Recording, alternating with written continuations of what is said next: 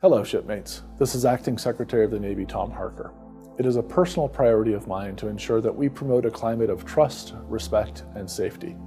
Each of us have the responsibility to raise awareness about sexual assault and to take action to protect our shipmates. At every level of our organization, it is essential to take the time to recognize and address the disrespectful behaviors that tear at the resilience of our teams.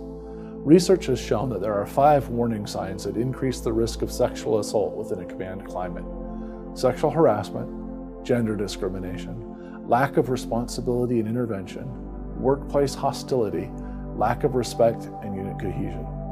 When Marines, sailors, or civilians come forward with a report of sexual harassment, take it seriously. It takes an incredible amount of courage to come forward, and we know that these incidents are underreported do not tell them to drop it. Each of us has the unwavering responsibility to do what is right when we're in a position to do so.